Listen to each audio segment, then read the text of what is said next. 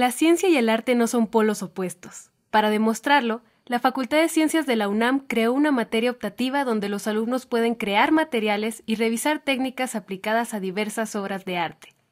Este es un grupo optativo abierto en particular a estudiantes de la Facultad de Ciencias en el área de física. Eh, la materia tiene como propósito tratar de unir dos cosas, arte y física, particularmente física. ¿Cómo?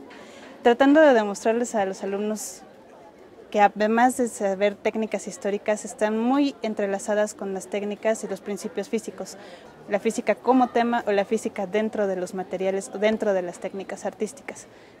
Los principios de funcionamiento de herramientas como el aerógrafo, el uso de pigmentos naturales y sintéticos, evaluación del color, las técnicas con las que se miden o analizan materiales a través de elementos ópticos como perspectiva, brillo, intensidad, contraste, entre otros, son algunos temas de estudio.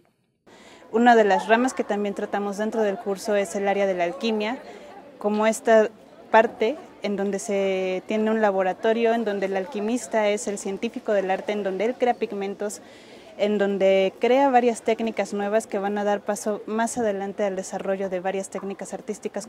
O un caso muy concreto, el pintor Van Eyck, que se cree que era un alquimista y que al mismo tiempo se cree que es el padre de la pintura al óleo.